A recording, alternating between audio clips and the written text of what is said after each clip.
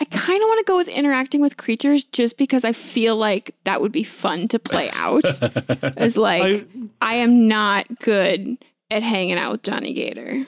Oh, yeah, great dynamics with with that. Yeah, I just think that that would be fun at the table. I do think identifying lies would also be fun to play out, but I think I want to go interacting with creatures just because I think that would be really fun, especially if you don't put Johnny Gator in a Pokeball.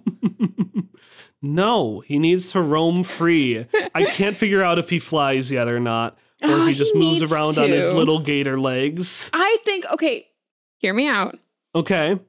He hovers off the floor like just like an inch so that his little feet move.